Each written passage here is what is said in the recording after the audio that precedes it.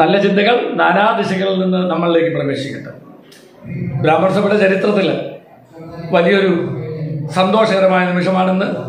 ഞാനിന്ന് ചോറ്റാനിക്കര അമ്പലത്തിന്റെ സമീപത്ത് കേരള ബ്രാഹ്മണ സഭ ചോറ്റാനിക്കര ഉപസഭയുടെ പുതിയ ഭജന മന്ദിരവും അതിഥി മന്ദിരവും ചേർന്നുള്ള ഒരു സമുച്ചയത്തിന്റെ ഔപചാരിക കൽ ചടങ്ങിലാണ് ഇന്ന് എത്തിച്ചേർന്നിട്ടുള്ളത് ചോറ്റാനിക്കര ഉപസഭയിലെ ഊർജസ്വലരായ പ്രവർത്തകരുടെ അവരുടെ ആ പെരുമാറ്റവും ഈ പുതിയതായി നിർമ്മിക്കുന്ന ഭജന മണ്ഡപവും ഈ ഗസ്റ്റ് ഹൗസും ചേർന്നുള്ള സമുച്ചയത്തിന് ഏകദേശം രണ്ട് കോടിയോളം രൂപ വരും.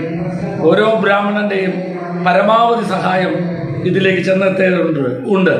നാഴികക്കല്ല് ഉണ്ടാക്കുക എന്ന് നമ്മൾ എപ്പോഴും പറയുന്നത് പോലെ ചോറ്റാനിക്കരയിൽ ഒരു വലിയ നാഴികക്കല്ലാണ് അമ്പലത്തിനടുത്തു തന്നെ നമുക്കായി അനുവദിച്ച് കിട്ടിയിട്ടുള്ള ഈ ഭജന മണ്ഡപം.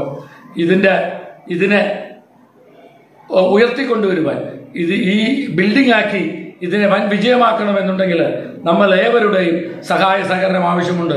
നിങ്ങളുടെ എല്ലാവരുടെയും പലതുള്ളി പെരുവെള്ളം എന്ന് പറഞ്ഞതുപോലെ നിങ്ങളുടെ ഏവരുടെയും സഹകരണം ഇതിലേക്കുണ്ടാവണം. നമ്മൾ കൊടുക്കുന്ന ഓരോ രൂപയും ചരിത്രത്തിന്റെ ഭാഗമായി ഇവിടെ വരുന്ന തൂണിലും തുരുമ്പിലും നമ്മളുടെ ശബ്ദവും നമ്മളുടെ കയ്യൊപ്പും ഉണ്ടായിരിക്കും. നിങ്ങളുടെ എല്ലാവരുടെയും സഹകരണം ചോറ്റാനിക്കര ഈ മണ്ഡപ നിർമ്മാണത്തിലേക്ക് എത്തണമെന്ന് അഭ്യർത്ഥിച്ചുകൊണ്ട് സ്നേഹത്തോടെ നിർത്തട്ടെ കരിമ്പുഴ രാമൻ കേരള ബ്രാഹ്മണ സഭ.